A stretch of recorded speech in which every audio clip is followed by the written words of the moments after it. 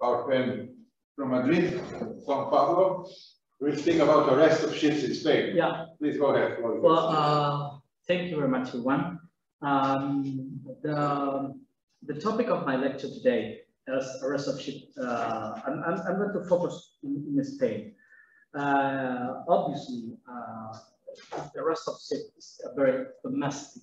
Uh, all of you know we have different international conventions, but at the end of the day, it's a very procedural aspect. That's cool. Yeah. So, so uh, I'm going to focus in Spain, like because Spain has a very important uh, characteristics in this sense. We are uh, the, the part of the convention in 1999. So uh, only 10 states are part of the 1999 convention. Uh, the rest of the states, or many states, almost 80 states, are part of the 52 convention. Uh, so it's quite interesting because I'm going to try to explain some difference between both convention and obviously the, um, rules in, in, Spain. Well, this is a brief agenda for the next for the next 25 25 minutes. What is a ship race? Legal regime, what is the, the scope of application, the concept of a ship, and obviously the nationality of the ship, condition for the rest, three, three important conditions, the allegation of, of a maritime claim, the allegation that the ship might be arrested, both the offending ship or the sister ship, and the security or warranty. I don't know what, what is more correct term security or warranty, but you understand the both term. Okay. Uh, and lastly, the process for arrest in Spain. Uh, just uh, an, an, example. Um, imagine a ship uh, from Barbados, Barbados, okay? Uh, enter into a port in Spain, uh, and due to a wrongful maneuver, uh, collision with another ship. Imagine a, a Canadian ship. Both are in a Spanish port, for example, in Valencia or in Castellón, okay? Uh, due to the collision, the Canadian ships uh, suffer damages, and those damages is a maritime claim. Okay, in a minute, I'm going to explain what is a maritime claim and what are maritime claims covered in the different instruments, but it's a maritime claim against the Barbados ship. Uh, so this uh, Canadian ship, obviously, the, the first the first step is called the P&I, and then the P&I called the agent on Spain, and then the uh, agent of the P&I club is called to uh, the lawyers, obviously, and going the, the lawyer is going to uh, present a file on the on the court in order to warranty, in order to arrest the, the ship, the uh, Barbados ship is the uh, the offending ship in that case, in order to warranty the settlement of, of a maritime claim. Okay, uh, so what's an arrest? An arrest is any detention. So it's important to know that when we're talking about uh, an arrest, we are talking about a detention of the ship, physical detention, uh, by other accords to secure a maritime claim. And this is important, this, this, this term, to secure a maritime claim, because that's not include to censor a ship in execution of a judgment. Okay? In a minute, I'm going to talk, I'm going to give you a difference between the preventive method and executive method. Okay? Uh, well, uh, why it's important is to arrest a ship because a ship is a big ticket mobile equipment, so it's the main asset of the of the debtor. Probably is that not, not the main asset, probably is the only one asset. Due the, the the legal structures in that case is the one ship companies, which one uh, one company. So we, we have a, a big company divided or well divided up. Where to, to speak properly, with different uh, branches, okay? And one of those companies has only one asset, that is the ship. So, so uh, a ship owner has as many ships, as sorry, as many companies as as many ships, okay? Remember one ship, one company. Um, the, the importance of the ship is because, or, or the rest of the ship is because the ship is, cap is capable of moving from country to country, from port to port, from jurisdiction to jurisdiction in a regular course of business. So today is in the port of Castellón, tomorrow is in the port of Rotterdam, or tomorrow, in two, three days, is in the port of Rotterdam, or in the port of Hamburg, or whatever. Okay, so if if you want to arrest the ship, you need to arrest while the ship is in your jurisdiction. Okay. Well, uh, okay, I'm going to talk later about the term jurisdiction because it's quite confusing. Um, well, um, the mobility of the ship creates international can create uh, legal and trade risk for market participants. And well, in case of default or in case of claim, the creditor will need to cease to arrest the ship as fast as possible, as soon as possible, in order to enforce its claim. Uh, some previous ideas. Um, I say material privilege versus procedural privilege. What does it mean? Um, imagine our case, the Canadian, the Canadian uh, ship. The Canadian ship has a right, a, a right to recover damages, okay, to claim damages. This is the right. But this right is, I mean, it's a, it's a term concept because a right is a term concept. What is the right? That right is important only if you have an instrument to materialize that right. I mean, so you, you may have a material privilege, but this privilege is nothing if you don't have a procedural privilege. And here, the procedural privilege is the arrest, is the process to claim that right. Okay? Um, as well, the arrest is an interim measure. It's an interim measure in audita parte. What does it mean inaudita parte? Inaudita parte means that the, the court is going to proceed to, to the arrest without uh, without a hearing. I mean, what does it mean? Due to the urgency of the of the measure, uh, the court is going to arrest the ship without her the arguments for the claimant or the respondent. Okay, uh, and why is this? Because we need to arrest the ship not in weeks. We don't have weeks. We don't have days we need we, we, we have only hours to arrest the ship. Because as I mentioned before, probably if we wait two days, the, the, the ship is sailing out in another jurisdiction. So, or maybe sold. Or maybe sold, whatever you want. is gone. Yeah, it's you don't know what happened with the ship if you don't arrest the ship as soon as possible. Okay. Um, well, the the effectiveness of, of the of the arrest is obviously the tension of the ship uh, and the detention of the ship, why, why we say the arrest is an, eff, eff, an effectiveness measure? Because it's a powerful, powerful weapon in the hands of the claimant to negotiate, to pressure the claimant. Why? Because while the ship is arrested, the ship owner has to pay fees cost, for example, has to continue paying the salaries for the crew, has to continue paying uh, um, um, other contractual obligations, or even with those process, probably one of the charters is going to put the, the, the vessel hire, of hire, sorry. So a, a, lot of cost for the for the ship owner, as well a lot of loss of benefits lose, uh, lose of incomes during the, during the period of time of the arrest. Okay. Uh, well, I could here imagine the situation, and uh, and it's a measure used to for the lawyers, especially for the lawyers, and when, obviously if you if you look at the real practice, all of the arrests are used to negotiate to negotiate the price. Because imagine the situation in the, the, the, the previous case the Canadian, the Canadian, uh, the Canadian ship. Remember the, the case, the Canadian ship and the um, Barbados, Barbados ship.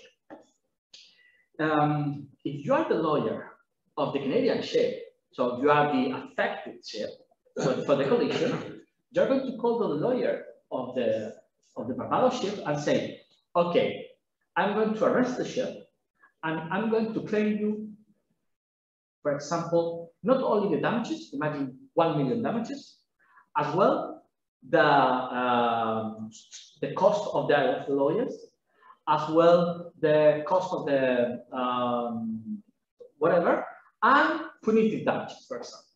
So it's not only 1 million, it's 1 million mass plus all of those costs.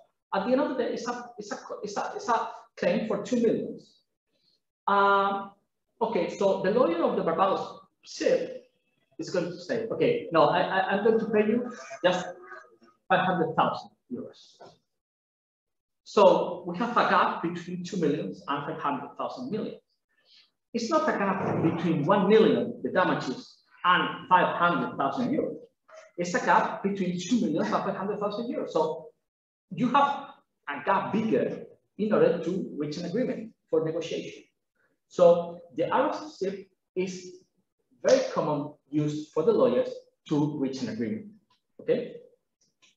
Uh, as I said, the, the, preventive nature of the, of the arrest is an interim measure um, versus executive arrest. Both cases, both measures, in, in both situations, the ship is uh, stopped. It's a detention of the ship. Uh, but the first one, in case of, a, of an arrest, we are talking about the interim measure, is intended to secure a maritime claim and the possibility to execute a judgment on a word. But this judgment on a word has not yet started. I mean, the proceedings of that uh, of, of that judgment has not yet started. It's a preventive measure. It's a preventive measure. Okay. Uh, the second arrest, the executive arrest, is produced to ensure an enforcement or a judgment. So as to ensure the enforcement of a judgment or an award already issued. You, you, understand the differences? The the arrest as an interim measure is previous to the judgment. Yes, is in order to secure a maritime claim. But marking time is not uh, hold in, in this arrest process, in the main process. And the executive arrest is in order to enforce or ensure the enforce of a judgment or an order already issued. And the second question is the special nature. Uh, probably in, in other jurisdictions as, as, well in Spain, we, we, must differentiate or we must differ between maritime arrest and civil or ordinary arrest. What is the difference? Um, the, uh, the regulation adopted in civil rules in Spain, but probably is quite similar in other jurisdictions, at, least in civil, in civil law jurisdictions, re require the arrest in, in civil procedure, require three important elements. The boni juris, the fumus boni juris means the, the, the, claimant must show before the court that he has a, a, a right. I mean, this is in Latin expression, fumus boni juris. Um, the second, the second condition is the periculum in mora. The periculum in mora is the uh, the urgency. So it's a it's a risk that if the arrest is not granted, the ship is sailing out. So it exists a real risk, a periculum, in a mora. I mean, in, in, a, uh, in case the ship sailing out. And of, obviously the security or the guarantee.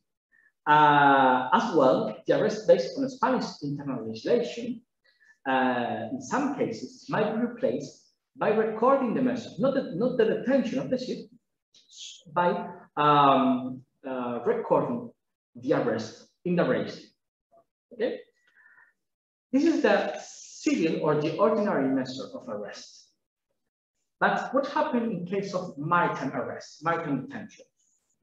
The fumus juris and the periculum in mora is not necessary. So the, the lawyer of the claimant just need to make an allegation of the trade, make an allegation of the embarkability of the ship, and the security. That's it. We don't need to, uh, to present evidence on the fumus boni. We don't need to present evidence on the periculum mora due to the urgency of the measure. Okay? And difference with the arrest of ship, uh, sorry, arrest in civil procedure, the arrest, the maritime arrest or the arrest of ship is necessarily materialized in the physical detention. In, only in one case, uh, I'm going to talk in, in, a minute, only in one case, in a very domestic scenario, uh, the, the detention of the ship, of the ship, of, of the ship, sorry, the physical detention of the ship must be uh, replaced for the record, the arrest on the registry. Okay.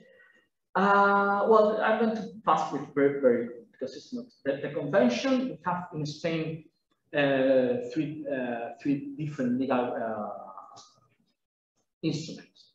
First, the convention, obviously, as an international text. Uh, the convention is the G Geneva Convention from 1999 uh, with only 10 contracting states, enforcing Spain since 2011.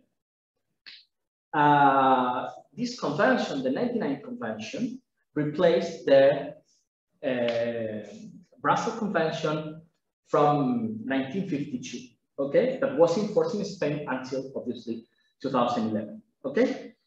Uh, just very briefly, the, the, most innovative aspect of this convention, the, this 99 convention, is the expansion of the list of maritime claims. Um, and the uh, arrest of ship shall only be authorized if the relevant act of judgment can subsequently be enforced against the ship. So well, we have some different, but I'm not going to, to, to stop here. Um, as well, the the, when, when, I say SMNA, uh, is the Spanish Maritime Navigation Act.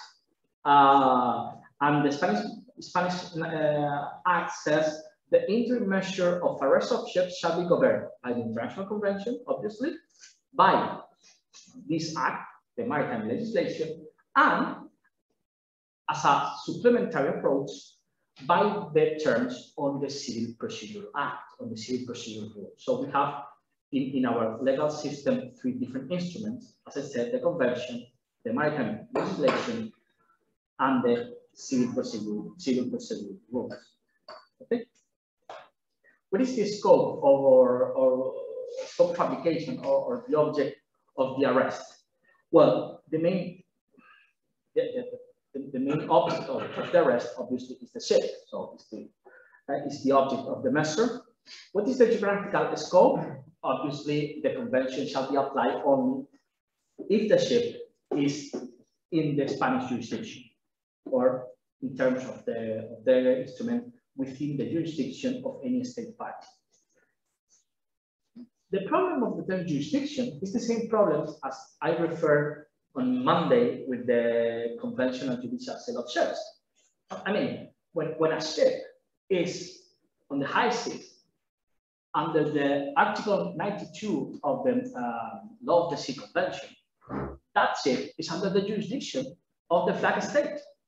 I mean, so, but that ship is not real in, in, in your jurisdiction because you cannot arrest that ship when the ship is on, on, on the high seas. I mean, the, the, the proper term is within the territory, with the territory of the state. I know that the Jews, when, we talk about jurisdiction, all, all of us will have in, in our mind the, the, meaning of territory. But probably, but, but remember, because it was a problem during the uh, working group on the Judicial Sale Convention, the, the, the, the, the ship sailing on high waters is under the jurisdiction of the ship of the flag, of, of the state of the flag. Okay, um, okay the ship, I'm not to the, the term ship because I have we have discussed much in the previous session about the concept of ship. Uh, but just remember that the difference between the convention of 1952, the convention says arrest of seagoing ships, but the, but the convention in Spain, the convention of 1999 says only arrest of ships. not civil ships. Okay, so in Spain, you may arrest ships, civil ships or not ships. Okay. Uh, okay, I'm going to, the nationality, the nationality of the ship, because this is important. Um, different scenarios, different scenarios. If we have a foreign ship, so imagine the situation in a Spanish court. Okay, a Spanish court, we have a foreign ship, for example, uh, a flag or a ship with an, uh, this is a Ecuador, I don't know what is Ecuador in English. Equatorian, Equatorian flag? Okay, Equatorian flag. Sorry. Um, if, if we are, if we have a foreign ship of a contracting state, Ecuador, Ecuador is part of the, of the uh, a contracting state of the, of the convention. So if we have a foreign ship, but that ship is a contracting state in the Geneva Convention, might be arrested, that ship, in Spain, pursuant to any of the maritime claims listed in Article 1. I'm going to tell you what are those claims, okay? Second scenario, we have a foreign ship, but of a state that is not a contracting state, for example, a Croatian ship. That ship might be arrested, not only pursuant to maritime claims, as well, and due to the Spanish legislation, by any other non-maritime claim. Okay? So imagine our situation, a Canadian, a Canadian ship, maritime claims and non-maritime claims. Uh, if we have a Spanish ship. Do you apply both conventions in Spain? No, no, no, we have only one convention. 999. 99. No, it's possible because we have to. I mean, Why not? Then you because, because the the 99, no, because the 99 convention uh, Sets aside. says, says- says- so the 52 convention. Um, well, the Spanish ship, this is the first scenario, Spanish ship, the claimant has its principal place of business abroad, so not in Spain. In that case, this is the situation, the ship is Spanish, the court obviously is Spain, um, the claimant is not Spanish. In that case, only the ship might be arrested for maritime claims. Okay? And lastly, the fourth situation, very domestic situation, we have the ship, okay, sorry, the ship is Spanish, the claimant is Spanish, and the court is Spanish. So it's a very Spanish situation, like this table, uh, him and, the, the Francisco. So very Spanish situation. In that case, the ship might be arrested for maritime claims and non-maritime claims. So, in order to sum up, you can see at the, at the top of the, of the slides, um, the, it's, a, it's a, a benefit for the claimant if we have a foreign ship or you are in Spain, or sorry, you are Spanish. It's beneficial, this instrument, for the debtor if the ship uh, has a flag of a contracting state or if the claimant is, is not Spanish. Okay? So the first condition, uh, the conditions for the arrest of the ship, the first one is the allegation of a maritime claim. So remember, those three, um, sorry, sorry, sorry, sorry, those three conditions are necessary, are uh, needed to arrest the ship. Okay? So no the formal vulnerabilities, no the periculum mora, only the allegation of the claim, the allegation that the ship might be arrested and the security.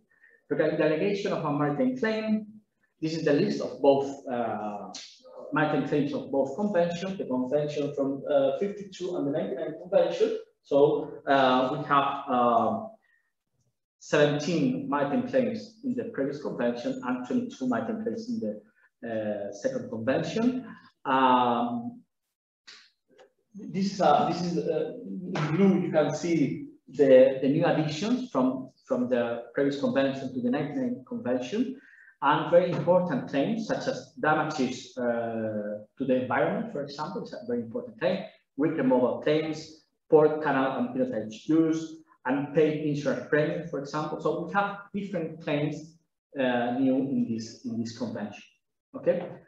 Um, the second provision is the, or the second condition is the allegation that the ship might be arrested, both the offending or the sister um, this, those are the conditions for the arrest, the offending ship. I mean, when, when I say the offending ship is the ship that you are, that has caused the, the, the claim, okay? So is the claim, in our case, for example, is the Barbados claim, but for example, if the, if the claim is for salary of the crew, so is the claim in which the crew uh, sails, etc. So when we talk about the offending ship, is the, the ship, remember, that is the origin of the claim, okay? The first case is, are all of five cases are alternative conditions, not cumulative, okay, but alternative condition. The case number one is in case the owner of the ship is the debtor of the claim. Okay? In, in, in this case, the convention says, in the moment that the claim arose, and in the moment that the arrest is effected, in both points of in both in, sorry, in both period of time, the owner has to be the debtor of the claim. The second case is in case of the bareboat charter is the debtor of the claim. In that case, the bareboat charter has to be the debtor in, when the claim arose, and in case, uh, and when the uh, ship is arrested, uh, the debtor has to be the bareboat charter or the owner. Only the bareboat charter if the claim is a maritime lien, not a claim in general, not a maritime claim in general, but a maritime lien, a privileged claim. The third case is when the claim is due to the mortgage or hypothec. The fourth case are very specific claims related to the ownership or possession of the ship. And the, and, the, and the last case, and this is very important, as I said, when the claim against the manager, the operator, or the bareboat charter, and as I said before, the claim is secured by lien. Okay, and the condition of this maritime lien is granted under the law of the state of the arrest. Okay, uh, those are the conditions for the arrest of the sister ship. Um, I don't know if I have much time, but uh, I'm going to uh, skip this presentation because well, it's, uh, uh, it's, it's more confusing. I mean, the, the arrest of offending ship is sometimes confusing. So imagine a situation in which you have to arrest. A sister ship is the, the ship that is not the, the origin of the claimant, but is, uh, in the situation, but is an, another different ship. But this ship is owned by the debtor or by the owner of the offending ship. Okay, well, it's quite confusing. Um, uh, and the third condition uh, is the security. Um, regarding the security, um, the, the, I have explained the, the claimant powers. What are the claimant powers? To arrest the ship just with the mere allegation of the claim. I mean, it's a very, very important power because you don't need to prove nothing just to present the claim to the court. Those powers are offset by requiring to provide to the claimant a security in order to arrest the ship. What is the aim of this security? To respond to the damages, losses, or costs that might arise caused, caused by the wrongful arrest, in case of a wrongful arrest. Okay, so if at the end of the day, the arrest is wrongful, probably the, the, the damages caused by this wrongful arrest are going to be remunerated with the security of the claim. Um, the, the security under the convention is optional, is voluntary. So well, it's voluntary. I mean, it's optional, depends on the on the court. Under the Spanish legislation, the uh, security is mandatory, and it's mandatory in a, at least 15% of the amount of the claim alleged. And this is quite interesting because our, our legislation refer the percentage of the security, not to the damages for this future wrongful arrest, but to the claim alone. So imagine the situation. I'm claiming, for example, I put uh, an example. I'm claiming just for uh, salary of the crew, for example, uh, I mean, 2,000 euros. Just this is my salary, and I'm claiming, or well, okay, obviously several months, but I'm claiming and request arrest for five months salary uh, as, as a crew member. So 10,000 euros. I'm requesting the arrest of a ship with the value of the ship is 5 million. I mean, a million. I mean, the, the measure is uncompensated. You know what I mean? Um, so the, the problem of the um, of this 15% of the amount of the claim array is if I am requesting just 10,000 uh, euros, my salary for five months, the 15% of those 10,000 uh, 10,000 euros is what is uh, 150 euros, no? 150 euros, yeah. 1,000. No, one, one thousand, sorry, one thousand, sorry. Uh, 1,500 uh, euros. So the, the, the security is quite low.